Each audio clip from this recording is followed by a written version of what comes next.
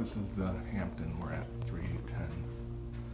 And when you walk in, there's the living room, the couch, a desk, a television, uh, air conditioning, and a refrigerator, coffee maker, microwave,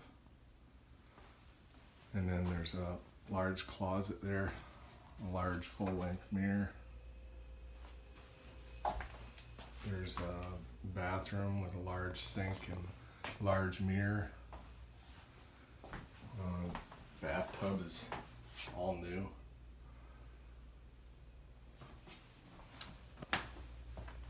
Closet right here with an iron and ironing board. And then the bedroom has a separate door. This one has two queen beds.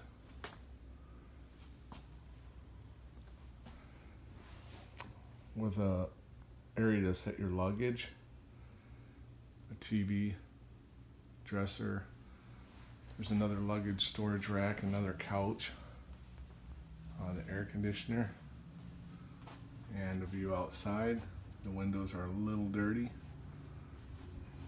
but other than that, very comfortable and quiet. And this is the two queen suite.